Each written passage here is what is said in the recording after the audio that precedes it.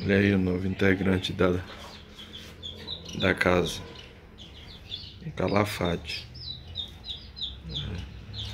Comprei ontem. E já cantou. Cantou ontem mesmo e hoje. Eu tenho que ver, porque qualquer coisa eu posso ir lá e trocar. Pegar outro pra ver se é um macho. Eu tô querendo um macho. Aí, se é um macho, eu... Tem tudo pra ser um macho, né? Porque já cantou.